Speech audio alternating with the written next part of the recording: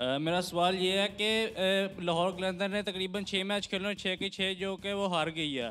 तो क्या इनको एक नए ओपनर की ज़रूरत है जो कि मियाँ नवाज़ शरीफ साहब हो सकते हैं?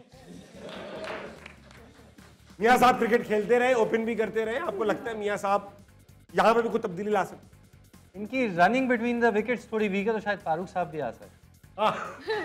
और सकता आराम अच्छा खेलते तो भी आ इस तरह तो फिर ये मियाँ वाशी साहब वो भी आ सकते वो भी खेलते हैं क्रिकेट। उन्हीं की बात हो रही है। की बात हो रही है